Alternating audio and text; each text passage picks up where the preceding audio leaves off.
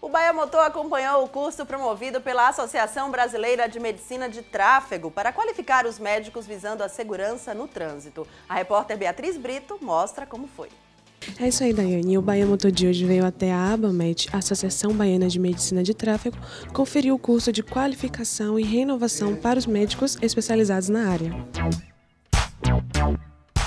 O curso de atualização, reciclagem e treinamento para médicos responsáveis pelo exame de aptidão física e mental de condutores e candidatos à condução de veículos automotores tem duração de 12 meses e conta com o apoio institucional da Abramet, Abamet, Detran Bahia, CREMEB, ABM e ABCTran.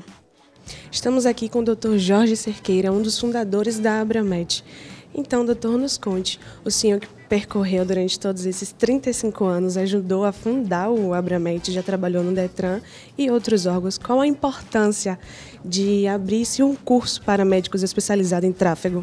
É, é, da maior importância se abrir um curso para treinamento de médicos né, nas questões da, que envolvem a medicina de tráfego. A, a medicina de tráfego, é, na Bahia, não era até os anos 70 é, muito valorizada. E, na verdade, os exames para motoristas eram feitos somente do serviço médico da polícia, depois do, do próprio Detran, e é, cada médico aprovava ou reprovava a depender do, do seu próprio julgamento, porque não tinham parâmetros todas as especialidades se tem parâmetros, se tem é, parâmetros técnicos, científicos, né, éticos.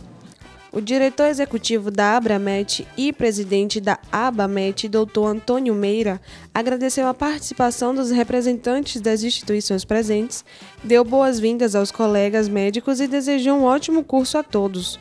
O Dr. Jorge comentou sobre uma pesquisa que está em andamento com os residentes de ortopedia que levanta dados de sequelas em pé e tornozelo de vítimas de acidente com moto.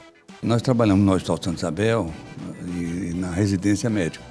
E o nosso residente é obrigado a fazer um trabalho para a Sociedade Brasileira de Ortopedia. E o trabalho que nós escolhemos é, este ano para o nosso R4 é, são as lesões no tornozelo causadas pelos acidentes de moto.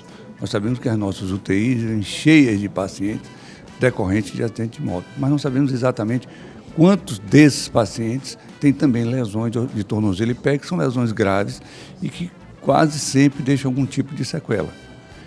E, para surpresa nossa, nesse, primeiro, nesse levantamento preliminar, você vê que em seis meses de levantamento, tem quase 300 pessoas com, com esse tipo de, de lesão. Então, é só para despertar nas pessoas o quanto que é importante o, os cuidados para não haver o acidente. O diretor de Integração Nacional da Abramet, Dr. Ricardo Egli, destacou a importância de qualificar e treinar médicos para serem futuros especialistas em medicina de tráfego. O curso para a Bahia para o Brasil inteiro é muito importante porque qualifica, treina e também uh, faz com que o médico especialista em medicina de tráfego tenha plenas capacidades para desenvolver a sua atividade como médico perito examinador, né, contribuindo para que o trânsito seja mais seguro e que os condutores tenham plena capacidade para conduzir veículos automotores. Quando o teu filho precisa ir de um médico, ele vai no pediatra.